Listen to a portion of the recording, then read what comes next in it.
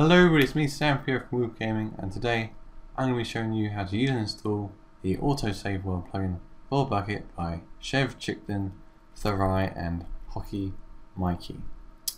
So as the name suggests, this is a very simple Autosave World plugin and what it will do is it will back up and save uh, your world or worlds and uh, has a nice little features automatically as well as manually.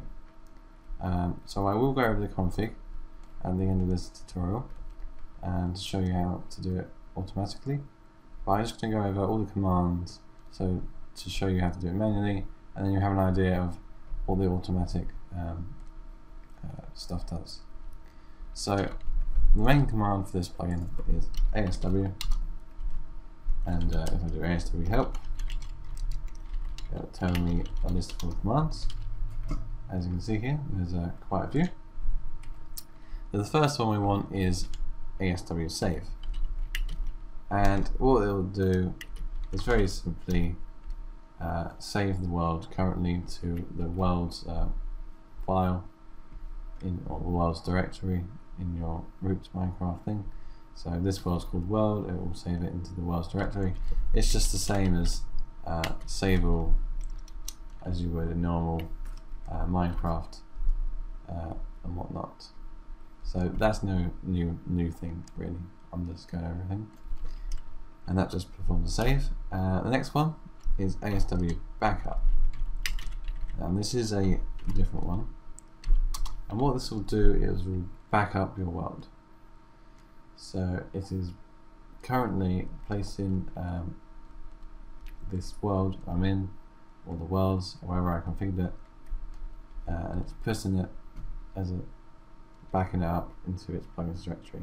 And I will show you where that is uh, when I go over the settings part and how to install it. Another alias for that is just simply backup.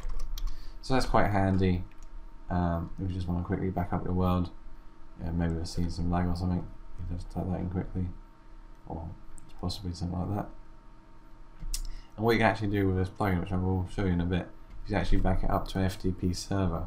So instead of all having all your uh, backup file files in your Minecraft server, which might get fill up quite quickly, especially if you have it backed up very often, and if you have a large server somewhere which can access via FTP, then uh, you can uh, FTP the files there.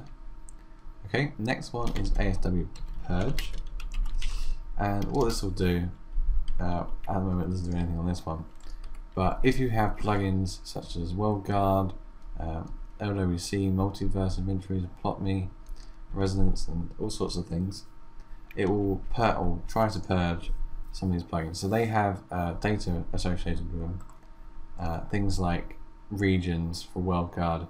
If the players aren't in, uh, active for a while, or they haven't been on in so many times, then it will just remove their entries from the, the database of regions, just remove that region and uh, LWC has a similar thing uh, where the player's inactive and it will remove their chests, blocks and stuff.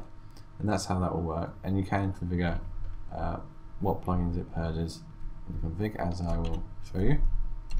And the alias for that is just purge.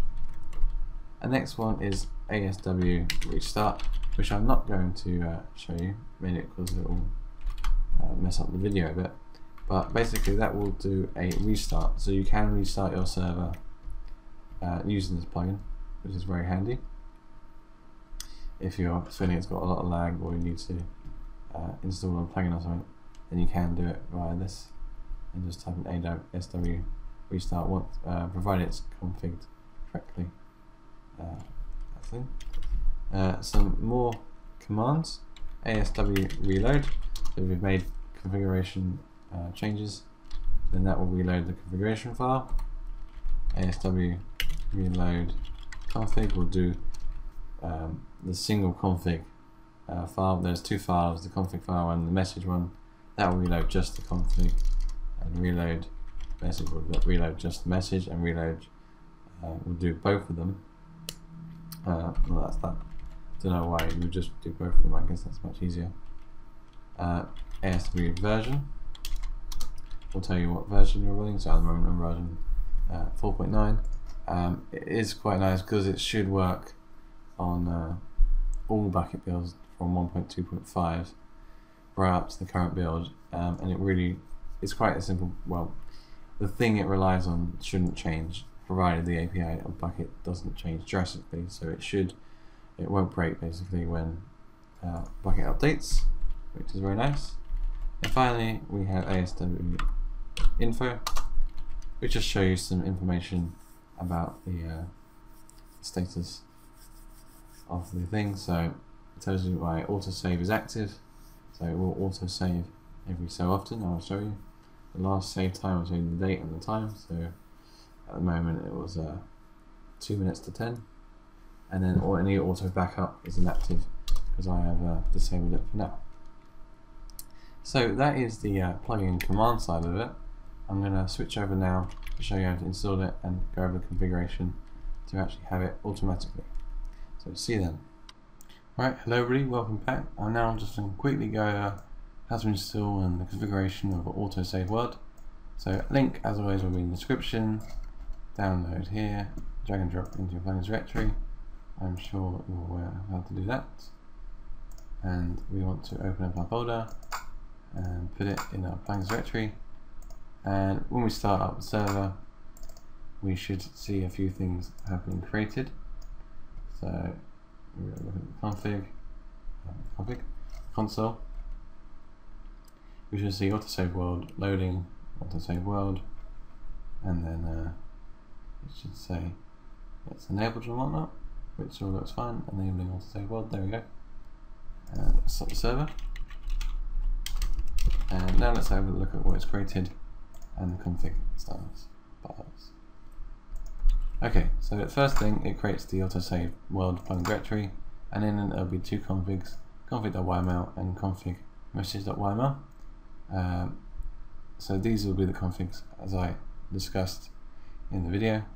Config.yml is the main one, and config message is just your language file. Um, I won't go over that, that's just simply changing it to your language. Um, but before I go onto the config, I will show you where the backups are. You go to backup to your root, where your uh, jar is. There should be a new folder called backups. This is once you've done a actual backup. Um, and there'll be the backups.yml, which will show you the number of backups of each world and uh, stuff like that. But it shouldn't be able to edit that. And then you have the worlds here as well. So we have the backup of the world, world nether, world end, and uh, the date here and the time of each backup so you can easily see which one's which and have them ordered uh, by time and stuff. Then you can see here is our world backed up. And that was a very small world, so it didn't take very long to back up. Obviously, if you have a larger world, it's going to take longer. So that's where they are. Um, but now I'm just going to quickly go over the config.yml YML, just to go over it, basically. Okay, so var debug false true. Uh, if you want to be in debug mode, you can set that true or false.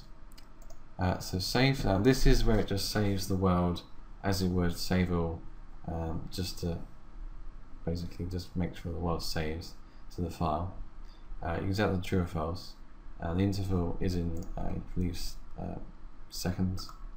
So every few, well, 900 divided by 60, you should be able to know that, but that's what 10 about 15 minutes. Every 15 minutes it will save the world. And broadcast that it has saved the world. Uh, so that's the same as ASW save command. Then we have the backup. This is the ASW backup command. So this is slightly longer. So I shall just go over this. Okay so the interval again this is number of seconds uh, a backup is. So if we were to divide that by 60 to find out how many minutes is uh, save before, so whether or not you want to save beforehand or not. Uh, this will just run the save world thing. I recommend that's keep that as true. Broadcast, so it will tell the server that it is backing up. And then we have two bits, local files and FTP. So we can choose to back up uh, the worlds either um, locally by FTP or both or neither. So this will enable the local file system. So set that to true and it will save them into our root directory. uh, the world. So this is a list of all the worlds we want to back up. A star means back up all worlds. If we just want to back up our main world, we just type in world there. If we wanted uh, more worlds, we could have world nether here as well. And I would just back up world nether and world and wouldn't back up world end and stuff. Uh, max number of world backups, so 15. So this is obviously the maximum number of uh, things. Uh, if it reaches this limit or goes over it, then it will delete the oldest one and then create create a new one. Uh, plugin folder as well. So you can actually, as well as backing up the worlds, which is a nice thing about this plugin, you can actually back up the plugins folder as well. Uh, so that, that's a true to do that. And the max number of plugin backups, again, like the world, um, you have a directory of all the plugins with the date, and it will tell you uh, if you've gone over 15 of them, then it will delete the oldest one. And exclude folders, so if there's any folders uh, in the backup that you don't want uh, to be backed up in the plugins, for instance, then you can exclude certain plugins. Maybe ones that uh, don't have anything that will change, they're all the same. Uh, two ext folders. So this backups to ext folders and whatnot. Um, disable int folder as well. So this just disables the backup to the internal folder. So this will only work if you have this enabled. So two external folder. So so two external folders. Let's go over this quickly. Two external folders. So you can actually go to a, another folder, other as opposed to your uh, root directory. And if you want to do that, then you can actually disable uh, in your root directory here as well to set stuff up. So you can have it saved somewhere else, it doesn't have to be your root directory. And if you did want it saved somewhere else, then you can put it in here as a path uh, to where the external folders are. And it must be the absolute path. Okay, so an absolute path, for instance, um, would be, say, uh, on a Windows machine, uh, D, then, for instance, uh, I don't know, backup folder or something like that. It has to be the absolute path. So from the, the D drive or C drive or whatever drive you got, or you got Linux, you can have home, server, or and wherever you like. Uh, but that will be the external folders. And then zip finally, um, you can actually have it backed up as a zip. And FTP is very similar, a few different things. So enable true or false, so you want to enable it, so you can set true. And then you have your FTP details, so host name, port, login, password. You should be given these by your FTP provider or FTP server. The path uh, where you want the server to be back, back up to store, so ASW. You can change that over source. Uh, on worlds again, like the worlds up here, you can change which worlds are backed up and the plugin folders whether or not they're backed up as well. And uh, whether or not you want to exclude folders just as before with the local files. And you can also zip them as well um, as well which is good. Okay so that's the backup bit. So as you can see you can back up locally as well as uh, to FTP server which is uh, very nice. Now we have purge. So this is where it will purge uh, certain things uh, from plugins WorldGuard, OOC, multiverse inventories, uh, plotme, residence, and any player DAT files as well. And as I said before it will purge all the files that it doesn't need anymore any inactive players any inactive plots any inactive inventories that sort of thing. Um, then it will purge. So the interval so how long this is run every now and again. In seconds away time so this is how long the player is offline for so it's been offline for quite a while then it will them uh, broadcast again, true or false. And then you've got all the separate configs for each uh, plugin. So WorldGuard, you can disable, enable it depending on whether or not uh, you want to purge that one automatically or not. And we want to do the region or the overlapping region and whatnot. And each one has its own sort of purge thing. And that's not too bad. Uh, crash restart. So if the server does crash, um, then it will attempt to try and restart it. So you can set that to true or false. Uh, the script path is where your the path to the, the startup script of your server. Um, so the shell script that starts your server here. Uh, if it can't find it, then it will try to do it anyway. Uh, timeout in uh, seconds. Uh, so if it won't tick, then basically, if your server is not ticking for 60 seconds, then it will say, oh look, the server's crashed, basically, and then it will run the, the restart script. Or instead of restarting, you can just stop it. So I set that to true. And then we have auto restart as well. So this is like crash restart. I said it will do it automatically every so often.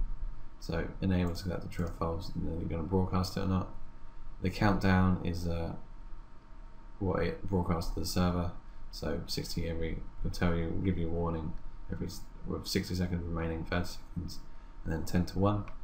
The startup script, as before, the crash restart, what script, or you can just stop every so often and just manually restart it. Uh, the time here though, I will just go with this. You can input the times you want for the server to restart. So maybe the players aren't really on at 5 in the morning, then I can just input here 5 o'clock and it will restart at 5 o'clock. This will be based on your server time of course, or I can restart it every hour if I wanted to and just type in 6 o'clock, 8 o'clock, 7 o'clock, 9 o'clock and so forth. Uh, but you can input which times the server restarts. Uh, console command. So you can actually run console commands automatically, automatically uh, every so often. So we have time mode and interval mode. So uh, we'll just go over this quickly. So you can enable time mode and this will do it at certain times in the day. So I'll give you an example of how to do it. So first of all, you need to define the time you actually want to uh, run these commands. So we'll say uh, 7 p.m. So 7 o'clock. And then we want a colon of this. And then on this bit, these are the commands we're going to run. And these are console commands, so obviously anything that can be run by the console. So for instance, easy say commands, so we say it is evening now. So that will run the command and say it is evening now. Uh, we can also reload stuff, like WorldGuard reload. We can do PEX reloads, that sort of thing. So we'll reload at 7 o'clock every time. Can have any command you like, so time, day for instance. Anything that can be run by your console, any plugin you can do there. So that will run it at 7 o'clock every day. And we can also do interval times as well. And this works very similarly. But the only difference is um, you can run it every uh, 10 seconds or so. So every 10 seconds we can run a command time day. So it will ensure that it's always day. It's uh, one way of doing it, I guess. Uh, obviously, you can probably won't have to make the interval that short. Can make it every minute, I guess, and it will restart the day every minute. So that's the interval and the difference between the time mode and the interval mode. And finally, we just have the world guard uh, bit. So the world guard, save world guard, save factions, and save GP. This is world regen. Uh, what you can actually do is regen the world. Um, I didn't actually go over in the thing, the uh, command bit. Um, you can re uh, regen the world as it was, but keep the world guard regions. You can keep the faction areas and the grief prevention uh, sort of things. And to do that, the command is ASW regen world, and then the world name, regen world being one bit, and that will regen the world um, basically by keeping all the factions and stuff. So what we'll do, we'll just kick everyone out, save all the things, restart the server, delete all the old chunks, and then uh, put in the new world, and then paste in all the, uh, the, the thing it saved in before. and then it will restart. And lastly, we just have locale. So if you want to change the language, you can change it there. And that is just a quick overview of the config. Uh, I don't think there's anything else to add. Um, so it's a very nifty plugin, uh, very popular I believe. Uh, you can use it to automatically do everything for you. Uh, very useful for large servers I guess if you uh, are busy with your time and don't have time to uh, restart or back up your thing and it will just do it automatically so you don't have to worry about it. So very good plugin, I recommend checking it out. Um, so that's the tutorial. So thanks for watching.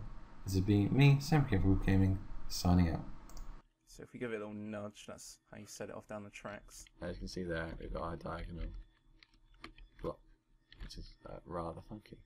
So you can hide the minecart. You can even get rid of these tracks here. Only needs to track down.